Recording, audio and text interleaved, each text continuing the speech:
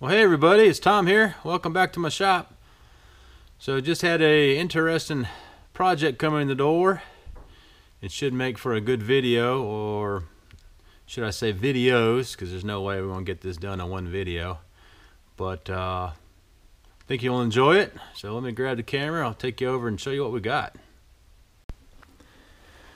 So what you're looking at is a diesel generator. It's a good old uh, Detroit diesel. I think this is a two cylinder, so it would be a 2V71, I believe that's what you'd call the designation on it. Here is the old generator part. Let's see, I don't know if the camera's going to pick it up or not. So an old Delco AC generator. I'm trying to move it around in case there's glare. Let me try it without the extra light. Don't know if y'all guys can see it or not. So it was a 20 kilowatt generator, 70 amps, three phase. So this generating part of the unit has gone bad. He took it to a motor shop and they want $8,000 to rebuild it. So yeah, that's not happening. So here's the new unit. Apparently this is the new standard unit that they produce now. And what we need to do, obviously, is fit the back of this, or should I say the front of that maybe, to the back of this.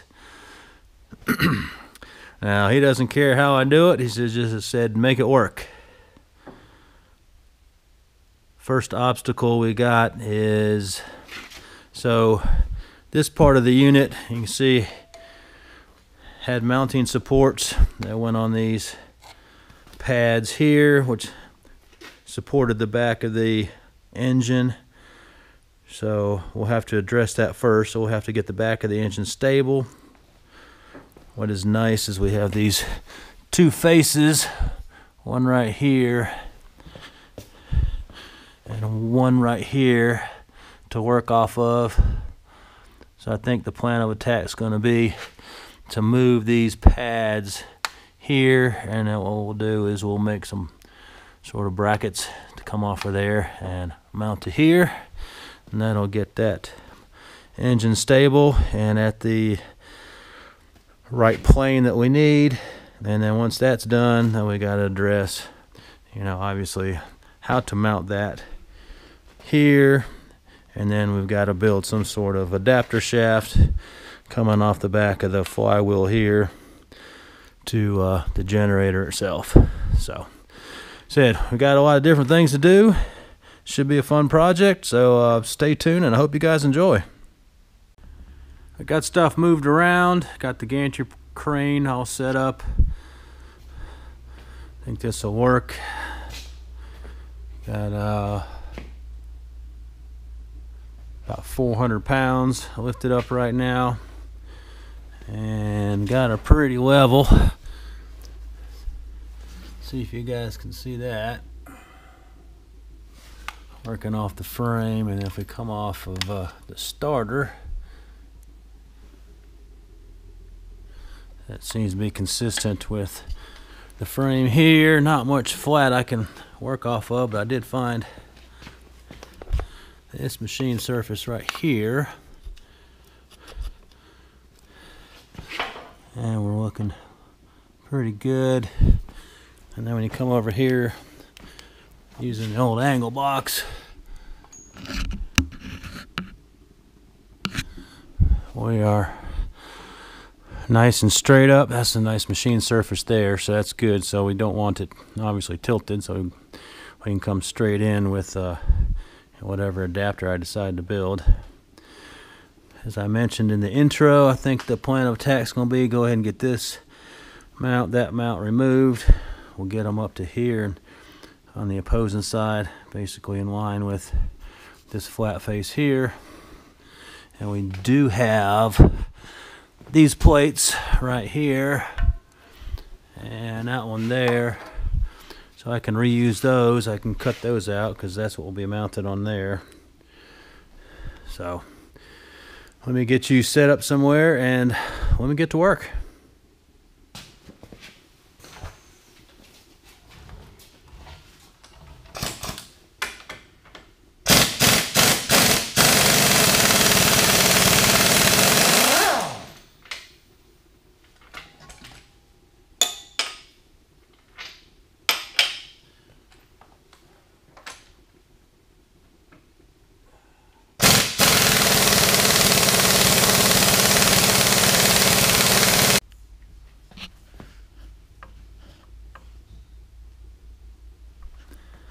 So I found when I need to cut thick stuff, this metal cutting saw, obviously it's got carbide tips on the blade, works a lot faster and a cleaner cut than if I use the plasma cutter.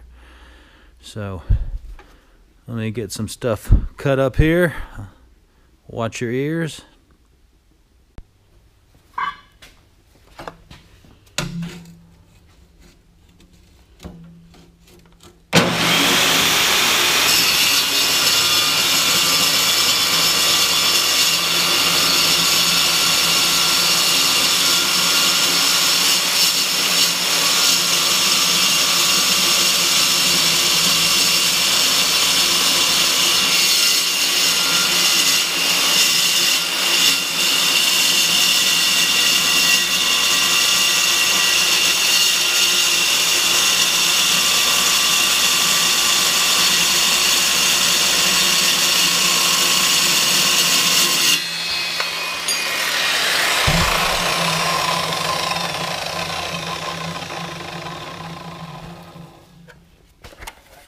Now that's 3 8 inch thick plate and just sliced it like butter. Look at that edge. So you saw me cutting the plates out. This is 3 8 thick, uh, 6 by 7. I just drilled the holes off camera. They're uh, 5 eighths in diameter. So this mount will go like right there and then you can see I got one ready to weld up. So we'll get that tacked in. And then I gotta make a plate for the side of the uh, bell housing here. And then the support. And then we'll do a support underneath here from there to there. I think that should be plenty nice and beefy. So I mean if you look at the front of the motor shoot they've only got two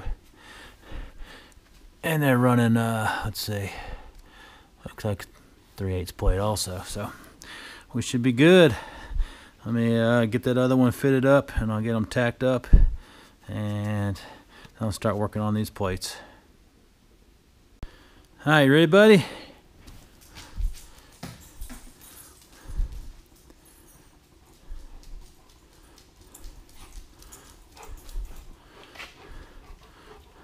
we've been playing today.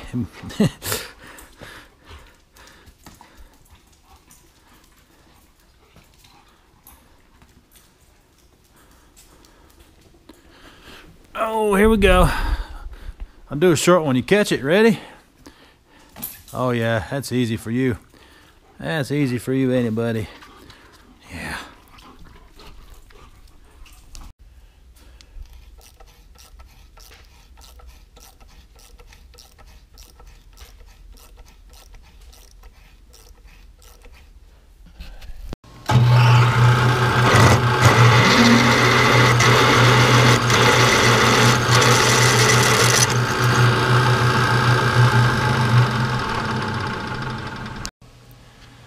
You saw me make these plates. Always drill the holes, I just cut it out. And I got these mounts done, so now I'm just working on getting the uh, right geometry for the support so we can weld this baby on. So coming over here, I'm going to use this 3 inch wide, 3 8 inch thick plate.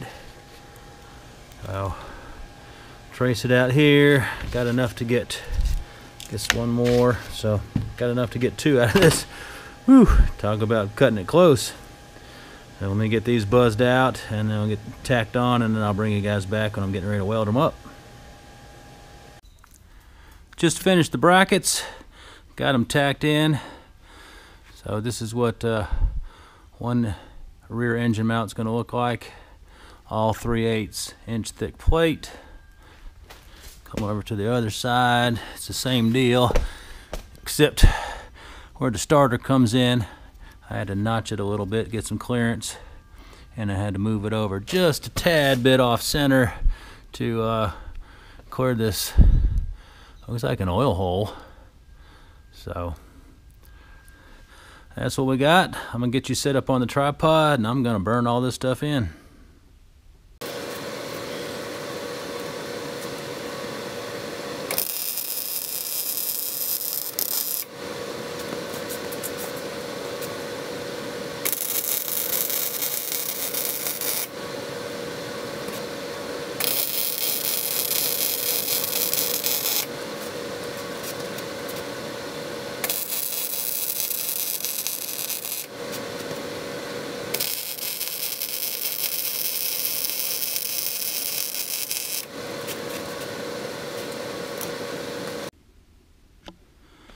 Well, there you go. The rear motor mounts are done. I am pleased. It was nice that uh,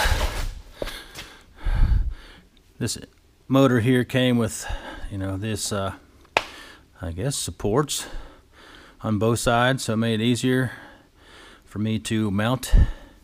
Didn't have to uh, come up with something crazy. Use the original rear rubber mounts that were here so it isolates here, isolates there. You know, all this is 3 8 plate.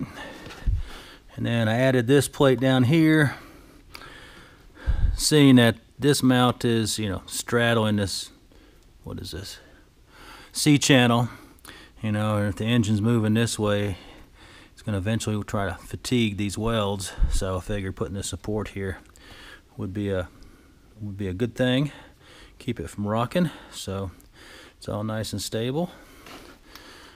It had the index there.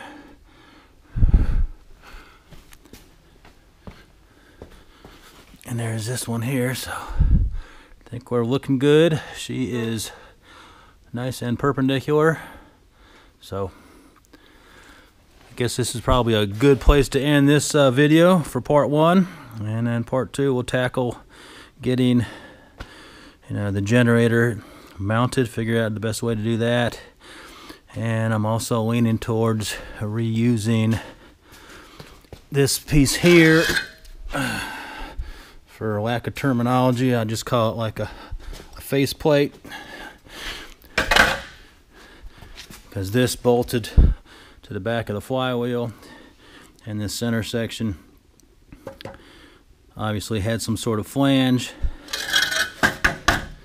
that stuck out and mounted to the old generator. So should be able to kind of replicate that, you know, keep things simple, save the customer some money because the less R&D I got to do, you know, the cheaper this project's going to be. So I appreciate you guys watching. Mr. Chaos says he appreciates it too. So Daddy ain't been throwing my toy very much, but uh, We'll see you in part two, guys. Take care. Bye.